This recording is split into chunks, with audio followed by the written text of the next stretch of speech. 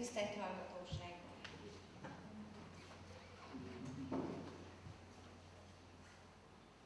Középkori településnyomok a közép- és felső Tiszavetékén, erről beszélni. Valójában terepejárást végeztünk a mezőség területén.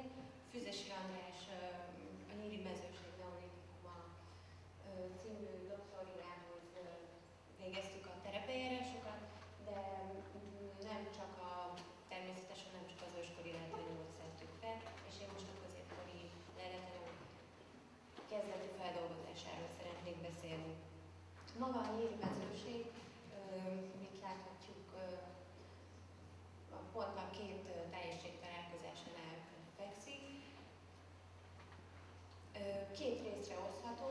A, kere, a nyugati részét főleg a, a domborzat modell is mutatja, a víz határozza meg, és a, egy ilyen nagyobb átteres rész, és a víz alakította ki, míg kereten már a hagymát területénél, ott pedig szikes tavakkal szabdalt homokákat találhatók, és a szélformát a, a táján. Négy kisebb mikrorégiót választottunk ki. Ezeket kutattuk. A első a Tiszanovi régió, amit még láthatjuk, a, ez egy egy része áttér, és e mellette található a Tiszadobi plató. A következő régió Tiszavasvári Józsefháza, ez is egy teljesen eltérő terület, azért választottunk meglehetősen eltérő négy kis mikrorégiót. Ez még láthatjuk egy átteres területből kiemelkedő homokátak, mm, homokátakból álló kis mikrorégió. A következő Tiszavasvári és Hajdulánás tedei közötti terület, a körbehatárolt területek, azok jelzik azt, hogy melyik területeket kutattunk. Ez az ártér mellett egy szélesen elterülő lösz, illetve homokhát, illetve az utolsó régió Tiszavasvári Fehérszik, ez, a, ez már, látszik, kereten van, és amit mes, beszéltem már az előbb, hogy szikes tavak tagolják a felszínt, és ezeknek nagy része már már kiszárad, viszont pont ez a fehér szik az, ahol ma is egy tó található, és a tó körüli löszhátságot kutattuk. Megközelítőleg négy egyforma területet próbáltunk kutatni. Összesen 44,8 négyzetkilométer területből 17,9 négyzetkilométert jártunk le, és 25.860 darab régészeti korú leletet gyűjtöttünk eközben. Előzmények szintén egy az, az európai térkép alapján készített domborzati térképen felvetítettem a közteres lelőhely adatbázisban szereplő lelőhelyeket, valamint tudom, hogy a környéken több középkori feltárás is történt, én most csak a, az nagyon összefoglaló műveket említeném. Igaz, hogy az egyik őskori, Urusz Katalinnak a megjelent diplomamunkája, valamint a Felső Tisza projekt az útlépét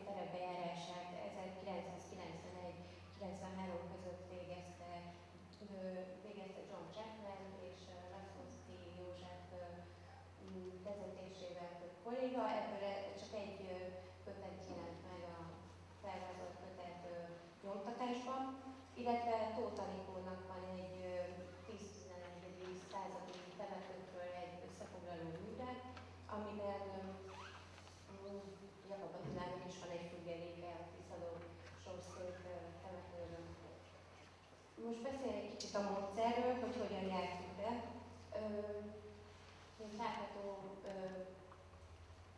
GPS-en jártunk, a 2012-es Mesterházi Gábor által már több sárvíz projekt módszerét és feldolgozási alapját mi is alapnak tekintettük, viszont eltér, annyiban tértünk el a terepeljárási módszertől, hogy ő, ő 100 100-as kiszleleten, úgynevezett gridekben,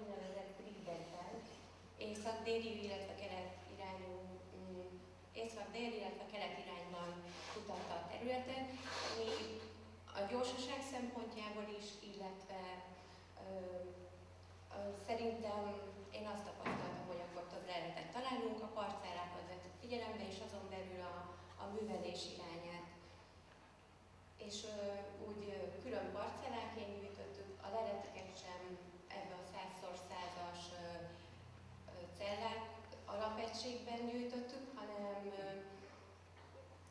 hanem figyelembe vettük a domborzatot, a lelőhelyeket tapasztalt lehetintenzitást, illetve hát ez embertől függött, hogy a korszakokat mennyire vette észre, és próbáltuk ki kis egységekbe külön gyűjteni. Ennek, ennek is kiértékeltük az eredményeit, és abból az jött ki, hogy 74%-ban kisebb egységekben gyűjtöttük volna. Magát a területet amúgy 37 nap alatt kutatta 8 ember, és további terveink, hogy mm, majd az összes korszak fel lesz dolgozva. Egyelőre még nagyon a kezdetén tartunk, csak a neolitikum van készen. Természetesen a terepeljárás során figyelembe vettük a, a fedettséget. Én kiválasztottam most a negyedik terület, a, amiről beszéltem az előbb, a Fehérszék mikrorégió egy mikrorégiót, ennek látható a fedettségi térképen.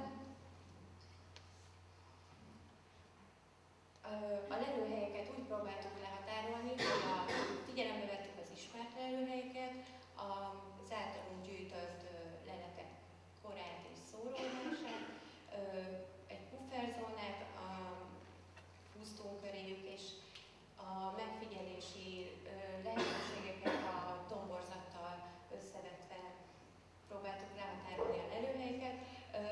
Összesen 69 lelőhelyen jártunk, amiből 40 új van, és 39 lelőhelyen találtunk középkori kerámiát. Itt van a négy mikrorégiónak a lelőhelyei, már hol tudtunk járni.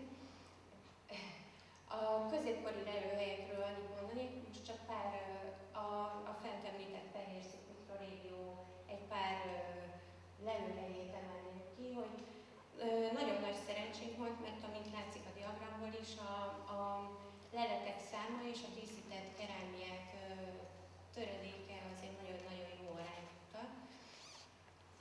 És ezek a, a pirossal jelöltem a középkori lelőhelyeket a, a, az összes talált lelőhelyen belül. Megpróbáltam kertezni. Tudom, hogy terepbejárási kerámiák nagyon nehéz kertezni, és csak jelzés értékűen raktam egy-egy kerámia töredéket most a, a kertezett kis celláinkra vagy alapegységeinkre, de a kertezés alapján mm, az alapegységeket felvetítettem a térképre, és hogy hogyan, hogyan helyezkedtek el a különböző korszakok az egyes területeken. A kertezésnél a díszítésen túl, ami látható, azért figyelembe vettem az anyagnak a, az anyag tulajdonságokat is, és azt lehetett megfigyelni, hogy Simonyi Erika felső Tiszavidékre végzett anyagvizsgálati dolgozata így nagy részt helytálló ezen a területen is.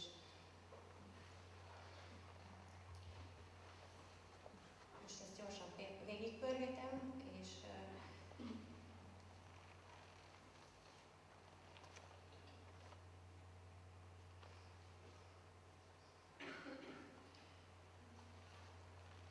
igazából ezeknek a, a különböző mm, meghatározásokból azt szerettem volna kihozni, hogy a különböző megtelepedési fázisok a terület melyik részén helyezkednek el, és ezen a területen még a többit nem értékeltem ki, úgyhogy még érhetnek majd meglepetések, de ezen a területen az figyelhető meg, hogy a korai kerámia, vagy a korai megtelepedés több kisebb egységből állt, és a 10-12.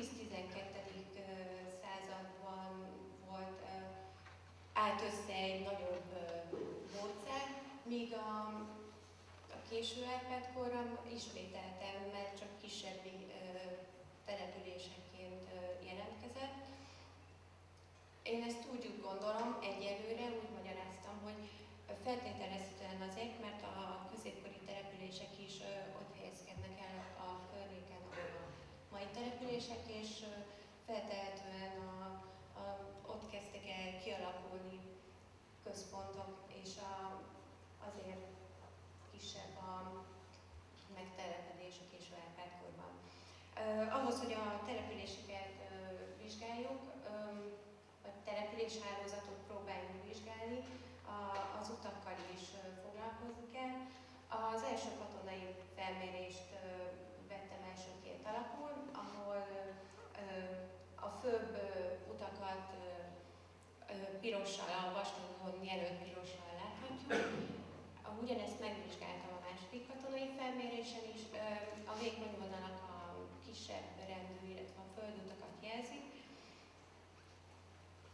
Valamint ezen a térképen a zöld a, az 1800-as Szatmár vármegye térképéről átrajzolt földutat, és ezt a hárman vetítettem egymásra. Hát a georeferálás miatt van némi elcsúszás, de igazából jól látszódik, hogy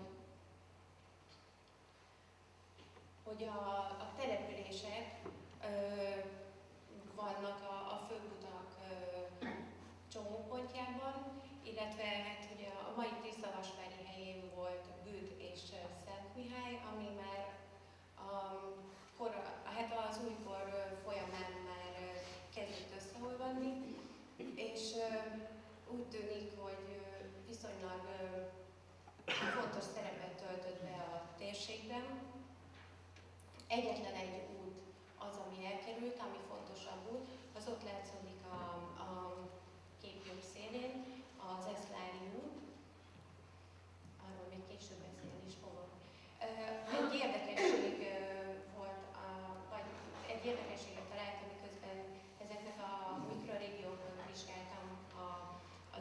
úthálózatát. Az első katonai felmérésen a, a már említett második mikrorégió, a József régió, azt mondtam, hogy ez a kis szigetszerűen emelkedik ki az átérből.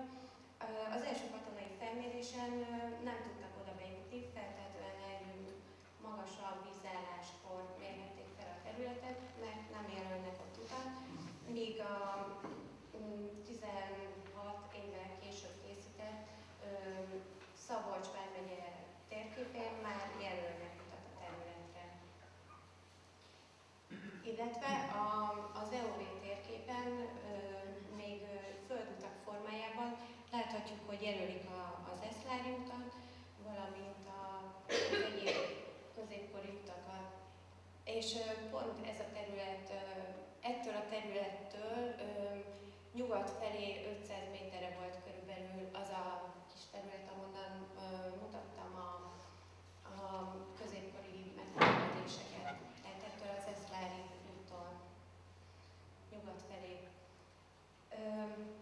Hogyha, hát remélhetőleg az összes kis mikrorégió teljes mértékű feldolgozásával és elemzésével majd sikerül valami megfogni valamit a településhálózatban. Annyit már most látni lehet. Itt felvetítettem az ismert verőhelyekből a különösen a templomokat, mint ott látható, a, a, ahol van templom telep temető ismerten, illetve a sárgával jelölt területek